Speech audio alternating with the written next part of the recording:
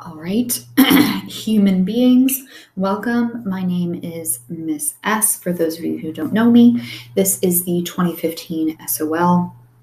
It is on solpass.org. It will be on Canvas for you to take and kind of work yourself through. I'm going to be going over the answers so that after you take it, if you have any questions, you can watch this video and kind of have all the resources in your hands. Here we go. So, we haven't gone over a ton of laboratory safety practices just because we weren't in person um, doing labs. But basically, anytime you see a laboratory safety or laboratory um, question, think about common sense. So, this person is in choice A is just kind of swing using one hand no no goggles, no lab coat or apron, no gloves, sort of things. That's an automatic no. B is wearing goggles but no apron. He's wearing gloves, but he's still only carrying the tub with one hand. So that's nope. C is good, except, oh, he has open toed shoes, which is not good. He does have his gloves. He's carrying two hands and an apron, but he does not have the goggles. So choice D would be the answer here because we have goggles, safety goggles, safety gloves, safety apron, closed toed shoes, and he's carrying things with both hands.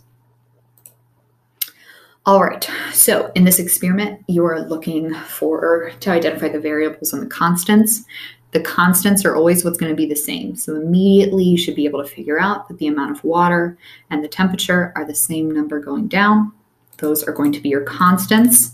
And then the temperature of the water and the amount of sugar dissolved are the variables because they are what is changing. Okay, and then we have this Punnett square. We've got our two heterozygotes. So what's the expected result? We have two homozygous and two heterozygous. We have two, we have a big R, big R, big R, little r, big R, little r, and two little r's. So anything that has a big R in it, since the red flower color is dominant, is going to be red. Okay, so we have three that have big R in them. So that means 75% is red, 25% is white.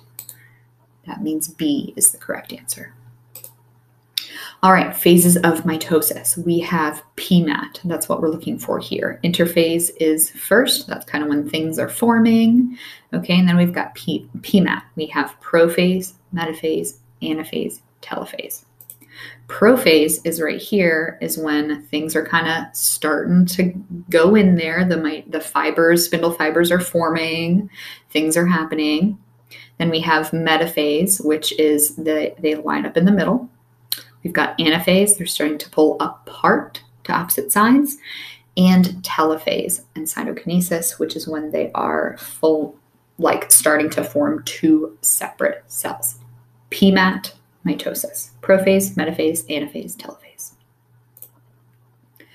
So when we're looking at a new species, you're going to want to look at its ecological niche or the role that this species has in its ecosystem. This encompasses what it eats, who it mates with, how it survives in this environment, and how it interacts with other species and other populations and things in the environment.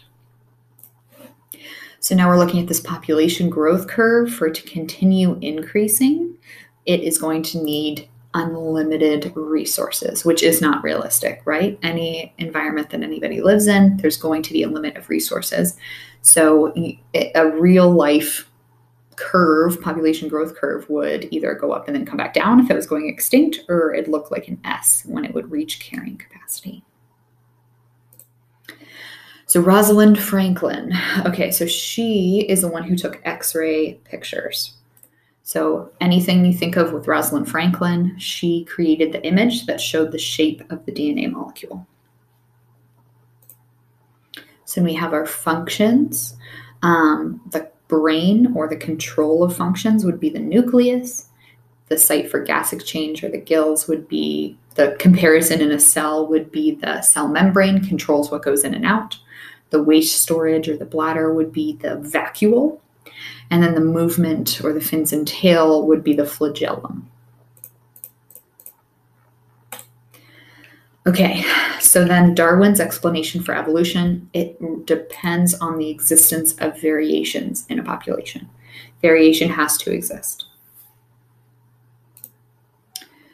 And then we have, anytime you think of fossils or aging fossils, um, reproductive strategy doesn't matter if you're just looking at a fossil, right? Physical traits kind of matter, but that's not going to help you age it. Same with genetic makeup. You're looking for those radioactive isotopes.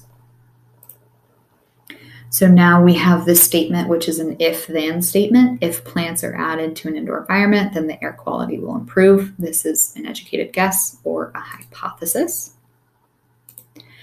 And then we have germ theory disease. Which of these is a result from the general acceptance that microorganisms cause disease? So if you think about we have microorganisms, they cause disease. Which one of these is going to indicate um, a response to that?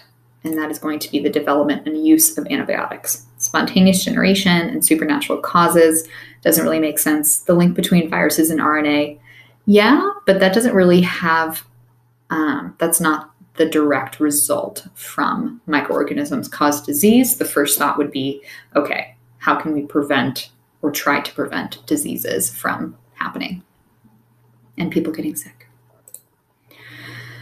Okay, so we have these warbler and juniper trees. We have warblers are the dark color and juniper trees are the light color. What conclusion did the biologists make from the data shown? So, again, anytime you have a question like this, definitely do process of elimination. Just work your way through. Okay, so the juniper tree population increases, the golden cheek warbler population increases. That is not true because when the juniper tree increases, the warblers increase and then decrease again. Optimum habitat for golden cheeked warblers is 100 juniper trees per acre. You want to look at number per acre. Uh, maybe, could be right. We'll hold off on that one. And then here I'm going to exit out so we can see it better. The golden cheeked warbler, warbler population stabilizes when the juniper tree population increases above 120 degrees or 120. No, that's not true. So this needs to go up here. I copied and pasted wrong. I'm so sorry. Um, and then we have golden cheeked warbler population is un- unable to survive if juniper trees are present. That's obviously not true, right? Because we have warblers present when there are trees. So the correct answer for this one would be B. The optimum habitat for golden cheeked warbler, warbler population is 100 juniper trees per acre. The most amount of warblers occurs when there's 100 trees per acre. There we go. Okay, let's go back to present mode. Okay, so we have history of the camel, studying the differences. Um, why do we study the differences? Okay, we do that to see how organisms evolve over time. We, that's how we look at that's how we study evolution is looking at differences in similar species in different species anytime there's a change over time think evolution So then we have an unknown organism. We've got a nucleus, a mitochondria. It's multicellular. Okay, so we know now that it's not eubacteria. Cells grow in columns, cell wall made of chitin, which is not plants or animals because it has cell walls. It's a decomposer. This is fungi. Okay, anytime you see decomposer, fungi. Cell wall made of chitin is fungi. Okay, plants have cell walls, but the fungi cell walls are made of chitin. Chitin. Excuse me. Okay, so we have an energy graph. What can be concluded from this graph? Again, anytime you're looking at a graph, process of elimination. Okay, the reactants have less energy than the products. They actually have more energy, so that's not true. The enzyme is consumed during the course of the reaction. We know that's not true. Enzymes are not consumed. The enzyme lowers the activation energy for the reaction. That is true. The amount of free energy produced in the reaction increases with an enzyme. Change in free energy. Nope. So this is the correct answer. C. The enzyme lowers the energy activation. activation energy. That's always what an enzyme does. If you see anything that an enzyme is being consumed, not true. Okay. And then the reactants will always have more energy than the products because think about before you run a race, you have more energy than afterwards. Okay, um, we're looking for an inference. So remember, an observation is things that you can um, you use your senses for, and then an inference, like a guess. You're using your senses to then make a guess on something that's happening. So plant seeds have different shapes. That's an observation. Um, maple seeds have membrane like extension. That's also an observation. Short peg like extensions. That's an observation. Milkweed seeds are dispersed by wind. That is an inference. The correct answer is B. Okay, so the weak hydrogen bonds between the nitrogenous bases of DNA is what allows for the base pairs to separate during transcription and translation or replication. Oh, brain. So we want those bonds to be weak so that they can separate. Okay, and then what organism, which of these is likely to result in a change to the current classification? This would be linking an organism to different ancestors through DNA sequencing.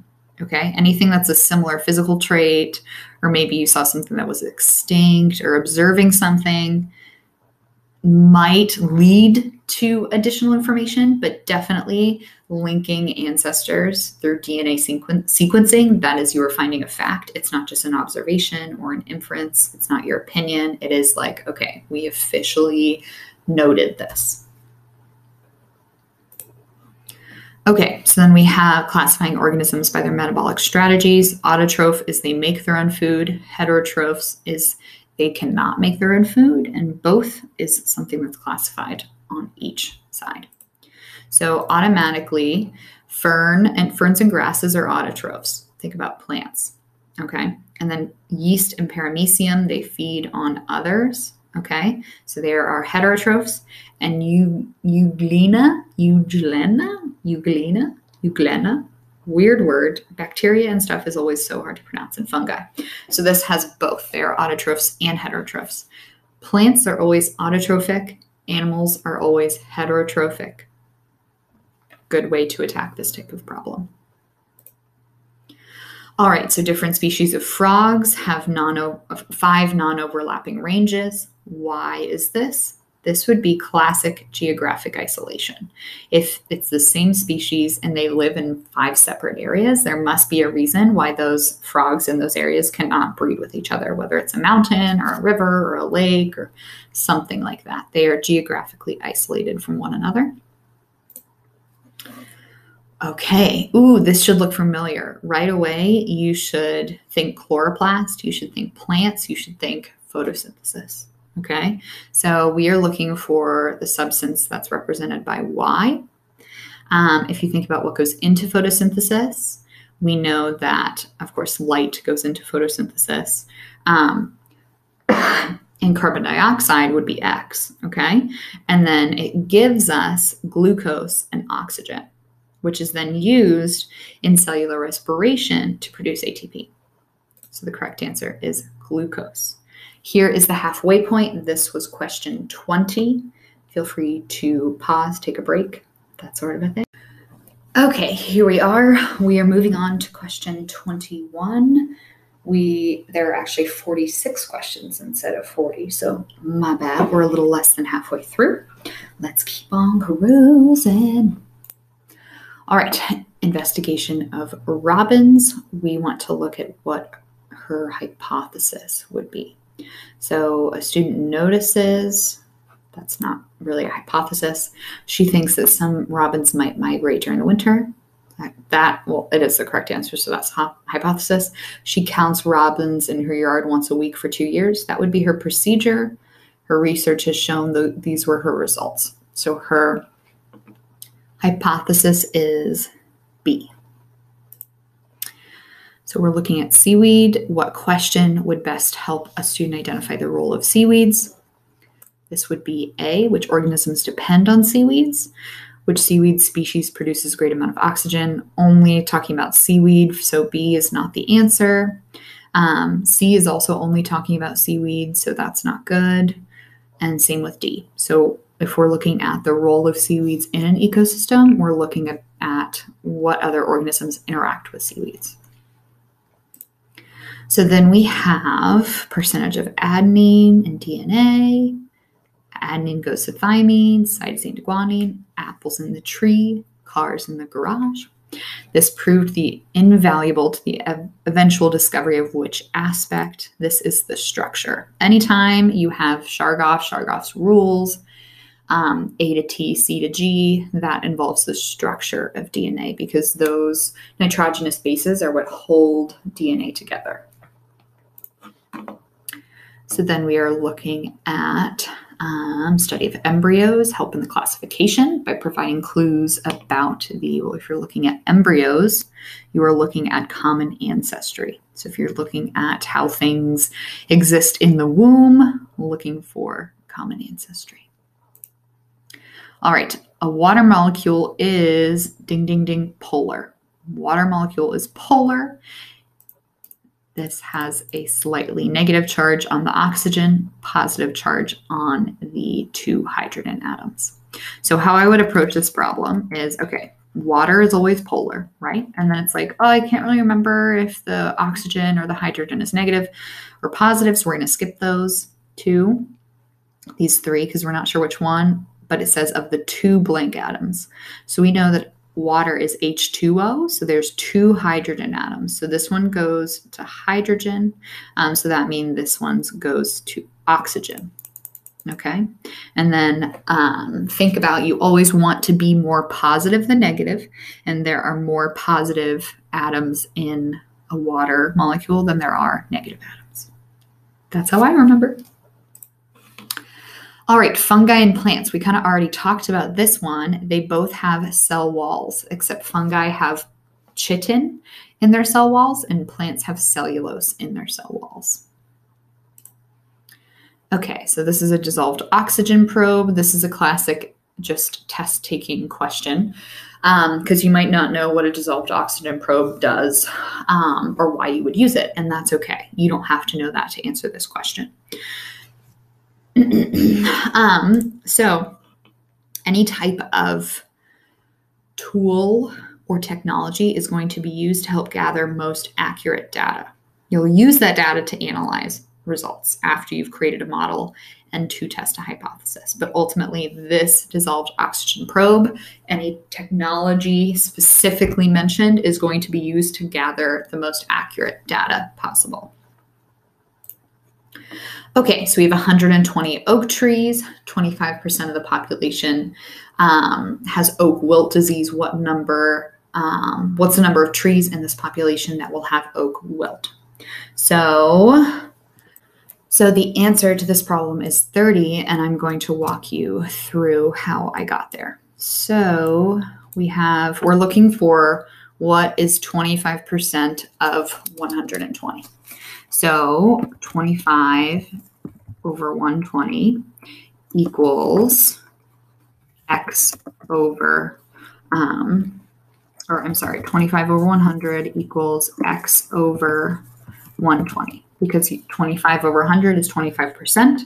So that means we would multiply 120 times 25 and then divide that number by 100. And that's how you get 30. This would be a good time to bring out Desmos. I just did not think about that as soon as I should have. All right, we're going to keep on rolling. So we have an insect introduced, feeds on nutrients in a hemlock tree, which kills the tree. Which kind of data would help a student evaluate the effect of this insect? That would be the information about the ecosystem's characteristics before the infestation. So you want to compare um, the ecosystem before and after whatever has been introduced to see what kind of effect that introduction had on the species. So then here we go. Which procedure should have been performed to prevent error? So This is both groups should have been tested in the same soil and the same humidity level. You want to make sure that whatever you're comparing, you have a control with as well. So everything that you're looking at needs to be tested in the same humidity level. Unless you want to test humidity level, then everything else has to be the same. Only test one variable at a time if they're related. oh, excuse me. All right, sudden decrease in the number of bacteria in the soil would most likely result in a reduction in the amount of nitrogen available in the ecosystem. Okay, so this would not do anything with the fossils. This wouldn't have anything to do with precipitation or um, with water pollution, really. Um, the bacteria perform the night they process and produce nitrogen for us. So less bacteria, less nitrogen available. All right, we are using recombinant DNA technology. For veterinarians, the use of this DNA technology will result in making more treatments available for pets. So I don't really know why they introduced veterinarians in this question, maybe just to switch it up. Um, but just like with humans, using recombinant DNA technology for vaccines and treatments and things like that, it will help pets as well. So then we have flow of information from the cell nucleus to the ribosome. If you remember the central dogma, it goes from DNA to RNA to protein. Okay, and so this is the mRNA molecule. DNA is in the nucleus, and we want the proteins at the end. So we know it's not A or D, it's the mRNA molecule or messenger RNA that transfers that information. All right, we want to look at the genus and species of this organism. All right, sweet. Dichotomous key, here we go. Antenna with rounded tips or pointed tips. These aren't very pointy, so we're going to go to two wings with stripes, wings without stripes. So these do, they do have, uh, yeah, I would say they have stripes. Yes. So we're going to go to four. Wings with tail like extensions, shorter than antenna. Wings with tail like extensions, longer than antenna. So it's these little guys are they longer? They are longer than antenna. So the correct answer is your Eurytides marcellus.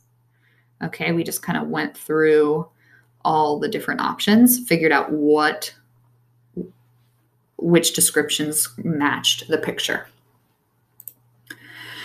Okay, um, so when the circulatory system increases blood flow to help them stay cool um, or to help them during cold nights.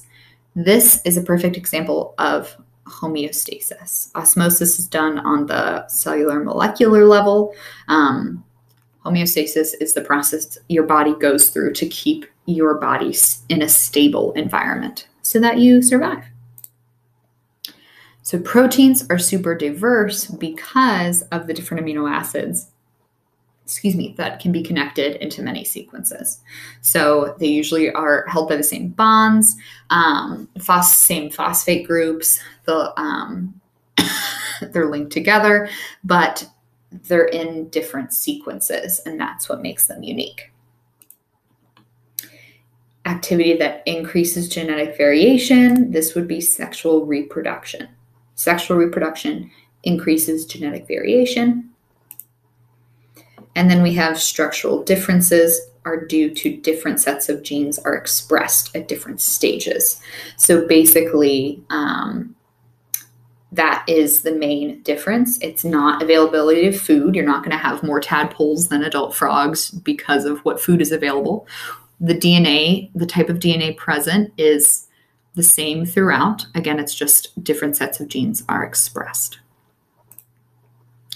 All right, so now we have our experiment. The best alternative explanation of the differences between setups is, let's look at the differences. We have one light, we have gas, water. Oh, okay, so there's gas in here, there's water in here. Water is good, okay. Elodea plants, okay. So the best answer for this, oh no, I hate when it does this is that light caused the Elodea plants to photosynthesize, releasing gas. So basically, what this question or what this answer choice gives you is um, an answer to both of the missing, um, both of the differences in the setups. One has light, one doesn't. One has gas, one doesn't. This question addresses the oxygen gas and the light. Um, and so that is key. And so A would not be a good option. B, also not a good option. C and D, um, excuse me, both address the light and the gas, so that's good. Um, but as we know, that um, light cause help helps plants photosynthesize. I don't know why my words are scrambling. So sorry. We're we're persevering, moving through.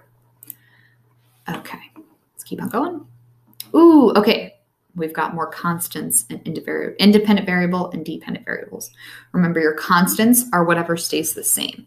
So, looking at this, we are going to have water, starch, and enzyme amylase are going to be our constants. Remember, a dependent variable depends on the independent variable. So, the fractional activity is what's going to depend on the temperature. And we can see that from um, our title as well effect of independent variable on dependent variable. So, scientists classifying modern animals are most likely to compare the sequence of the animal's DNA. All bones have similar um, composition, function of animals' limbs might be similar, but this does not mean that they are related. We've talked about that. And even the structure of the ATP. That seems like a weird answer choice. Definitely sequence of the animal's DNA. What features do viruses have in common? They do have a genetic code. Okay, they do have a genetic code. They have DNA or RNA. All right, model of this. Here we go. Each with, according to this diagram, the result of spermatogenesis is four cells with, we're looking at, you could know this by um, the process of meiosis, or you can even just count. We have um, two, these are halved right here. So half of the number of chromosomes.